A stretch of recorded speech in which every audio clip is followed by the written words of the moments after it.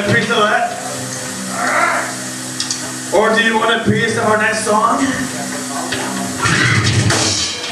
Cunt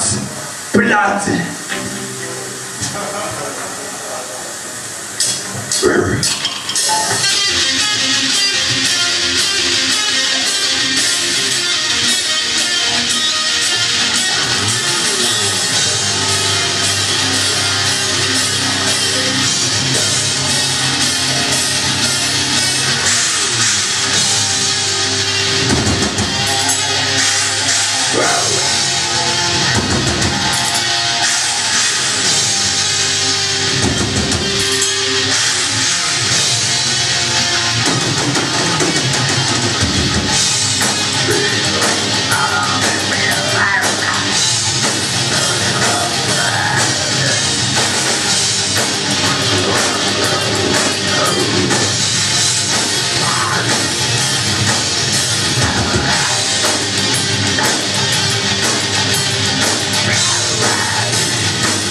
Yeah.